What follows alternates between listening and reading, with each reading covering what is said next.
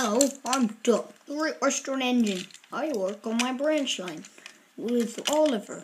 I'm told